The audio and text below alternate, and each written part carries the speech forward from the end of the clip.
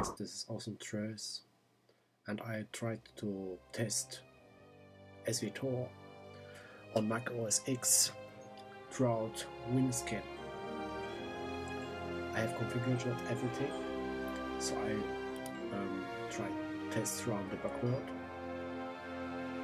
The launcher will appear, so I type in my password.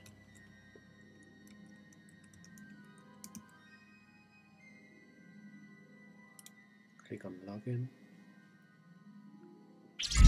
Click on play.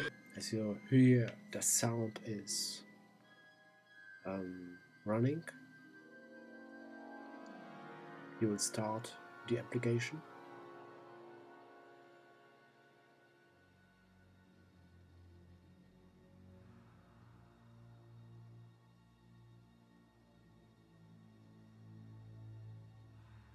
And that's it only the start screen appears.